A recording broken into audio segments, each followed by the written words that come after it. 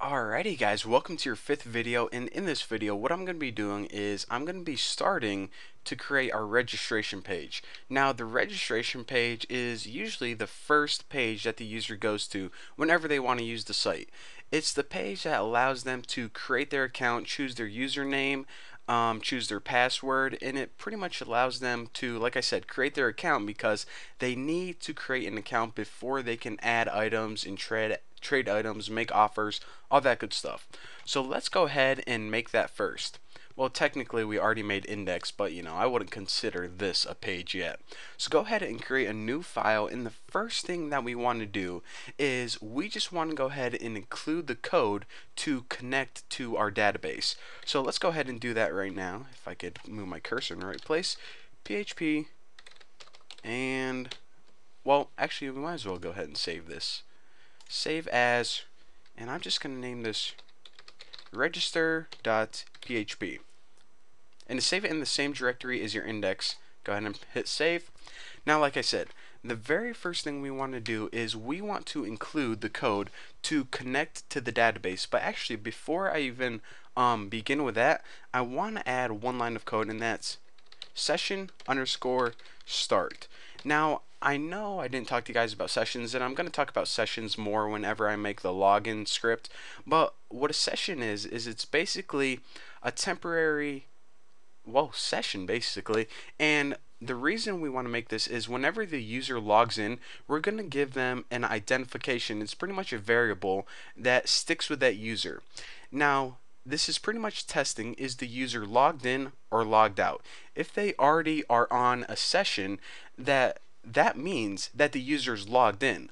So if a user is logged in, then there's no reason they would be going to this register page. You don't need to register if you're already logged into your account.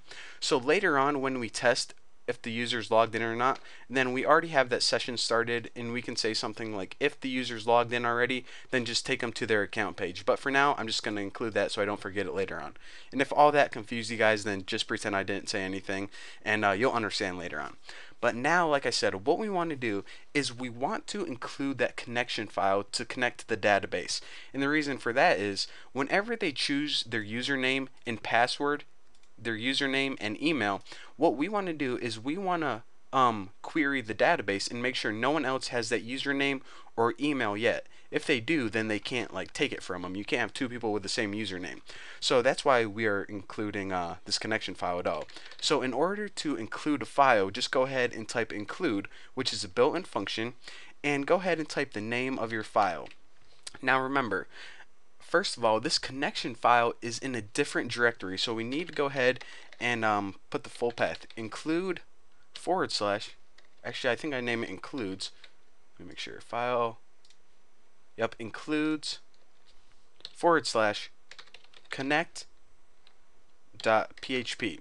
Now what this line of code is going to do is it's pretty much going to take all of the code from that connection file and place it right here. Pretty much we are now connected to our database. So that's all the PHP I'm going to write for right now. Now it's time to jump in and start coding the HTML. So in order to start coding the HTML, what I'm going to do is keep moving my freaking cursor around. Start with the doc type. Now, like I said, this is going to be HTML5, so in case you guys are like, where's the big X HTML declaration? Uh-uh. That's uh, old school. We aren't doing that anymore.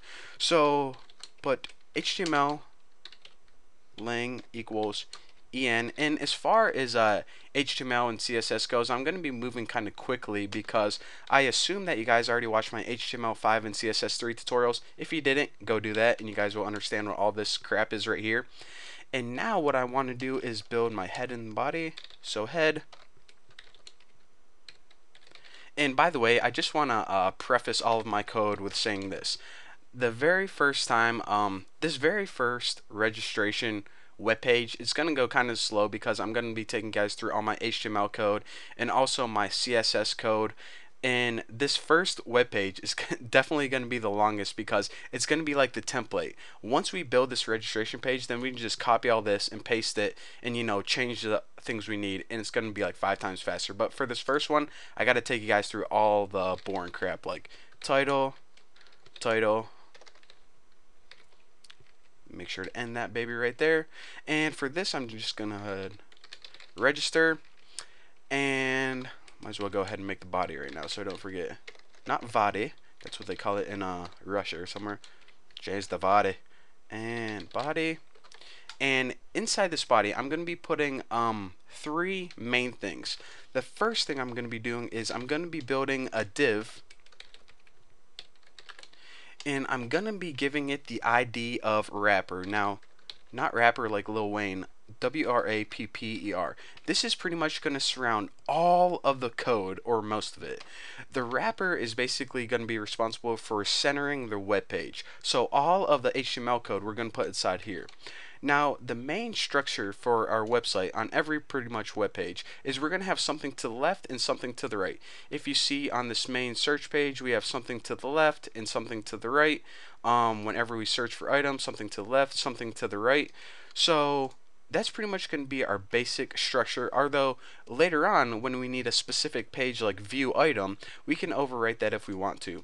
But for now I'm going to be putting aside and I'm going to be giving this the ID equal to left underscore side and just go ahead and end that right there. And on the registration page what this is going to be is this picture right here and on the right hand side I'm just going to be instead of an aside this is the main section section and ID equals right underscore side and this section is going to end right there. So basically, the main wrapper is just going to make sure our web page is centered. The left side is just going to be the picture, and the right side is going to be the registration form as you see right there. So now what we have left to do is if we uploaded this web page right now, it would look like the dumbest blank web page ever, but it would have a nice title. So in the next tutorial, what I'm going to be doing is I'm going to be taking guys through all of the CSS that we need to make our website look pretty. But for now, thank you guys for watching. Don't forget to subscribe, and I'll see you in the next video where we're going to be spicing things up, making it look beautiful.